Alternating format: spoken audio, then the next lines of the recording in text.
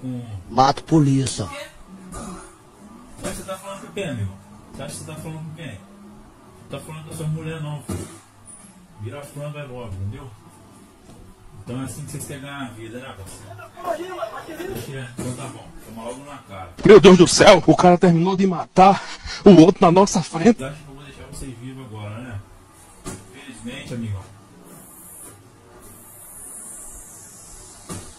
Deixar vocês vivos não, entendeu?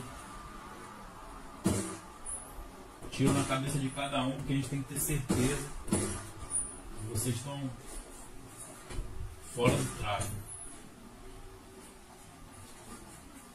E agora sim, amigão.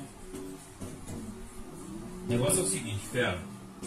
Vocês são comparsa dos truta lá atrás, tá ligado? Não, nunca nem vi. Você tá aqui de porteiro agora, mas eu tô ligado que você também fabrica uns fermentos lá atrás, lá, entendeu? Vocês vão morrer também. Faz parte do crime, amigão. Não, o cara tá morrendo só de encostar. Você tá com a arma na mão, parceiro? Você tá com a arma na mão? Não quer falar nada não, né? Você vai morrer com a arma na mão, meu filho.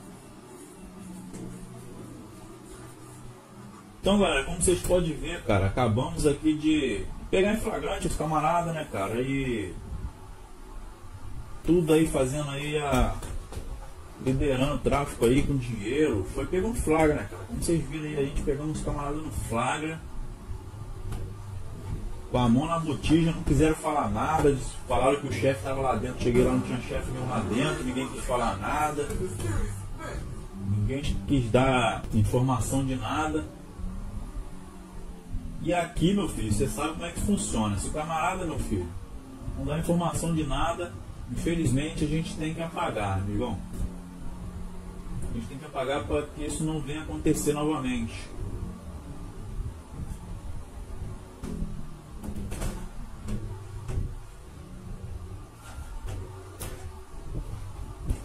Tráfego zero, parceiro. Zero.